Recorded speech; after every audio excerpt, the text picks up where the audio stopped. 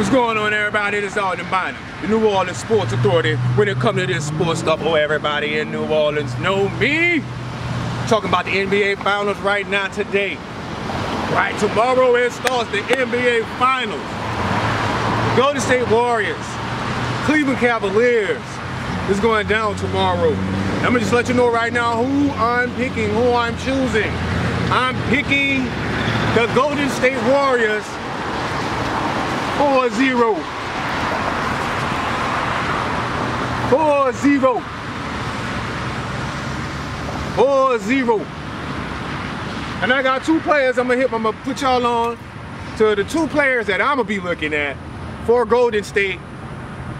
Uh, and it's Kevin Durant, of course, who's averaging 28 points a game, and JaVale McGee, who has a lot of production going on in these playoffs, and he's a, whoo, he almost ain't a big time player, but he, he has been producing really good and really well in these playoffs.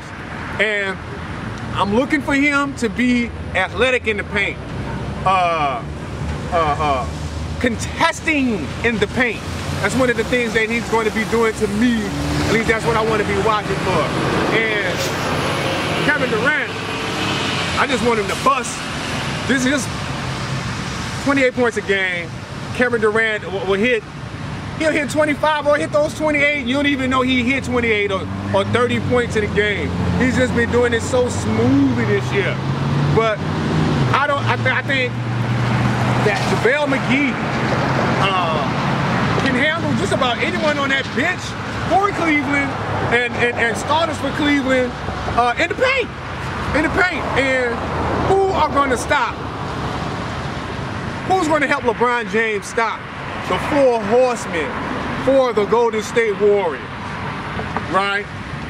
They got, I, I was thinking about it. They have like the four horsemen of wrestling. Uh, Kevin Durant was like that last piece. He's kind of like uh, Tully Blanchard to me.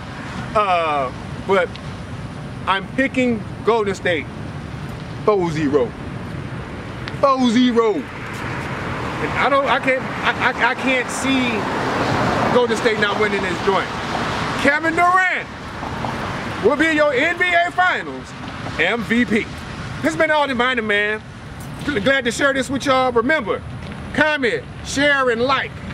Uh, I'll be doing other videos and doing other things. We might talk about some more stuff this week as the games go on. Have a good one.